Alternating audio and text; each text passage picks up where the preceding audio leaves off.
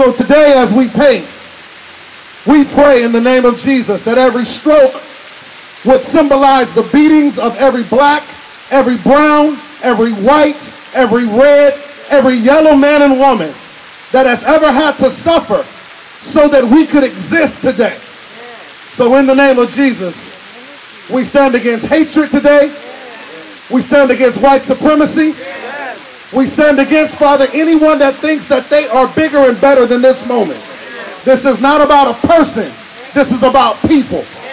This is not about a movement. This is about a legacy. And today, with our fists held high, we are declaring that with a fist balled up, we will knock hell out in the name of Jesus. So let today be powerful. Let it be purposeful.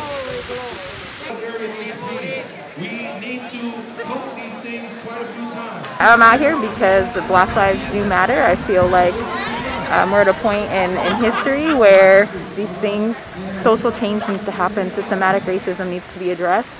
And this is a small way in which we can practice solidarity with our brothers and sisters and um, voice to the community leaders that things do need to change. And we stand behind um, our brothers and sisters of color who are really trying to voice their needs and their concerns. And it's time for us to listen. It's time for us to take a stand. And this is just a small way that I'm trying to practice that as a, um, a member of, of Fresno and of this community.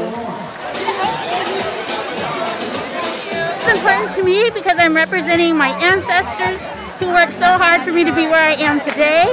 Since 1619, we have been here. We've been enslaved, we've been brutalized, and it's time for us to matter. It's time for Black Lives to matter.